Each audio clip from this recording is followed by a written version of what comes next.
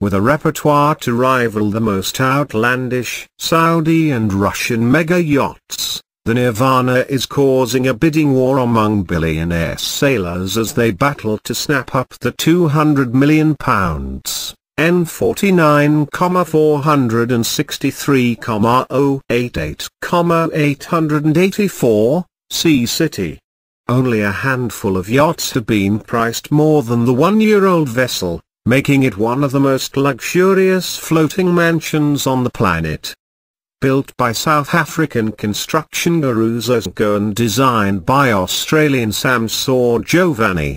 The 88.5-meter-long yacht has a remarkable pedigree history. A spokesman for Edmiston, who are marketing the yachts, said, Nirvana is without question one of a handful of elite world cruising yachts around today, and it is certainly the most impressive and opulent yacht currently on sale. Every inch of the ship has been painstakingly designed and built. There really is little else like it. There, of course, has been a lot of interest in the listing but as of yet no sale has been agreed. The silver engraved elevator service is all decks and leads guests up to the owner's deck which can be transformed into a secluded on-board retreat.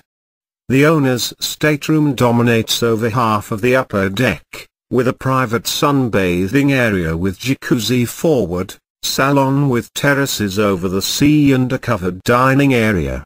Exterior stairs on the above deck lead to the bridge deck and the enormous and superbly equipped gymnasium and spa.